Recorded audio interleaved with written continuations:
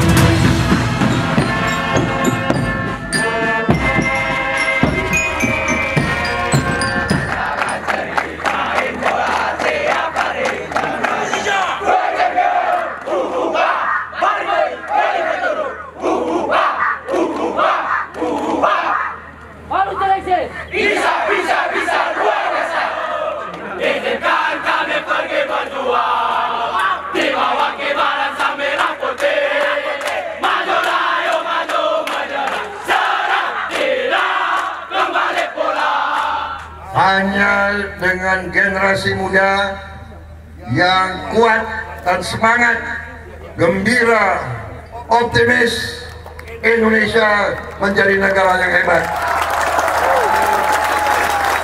Mengucapkan Bismillahirrahmanirrahim, saya nyatakan pertandingan Nusantara Open 2023 resmi dibuka.